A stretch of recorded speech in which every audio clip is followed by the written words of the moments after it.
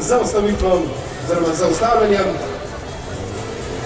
Še ena mala in hitra in divja zadeva pa se da sledi.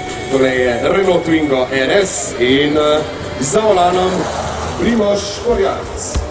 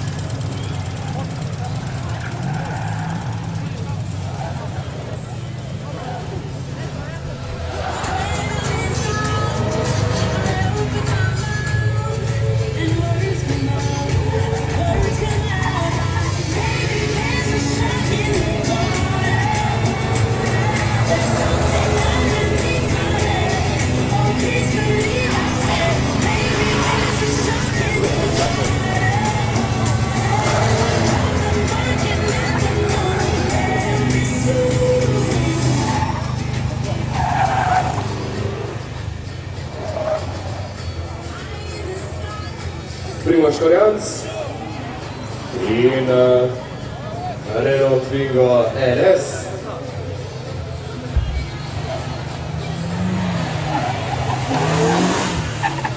Ena 39, 55,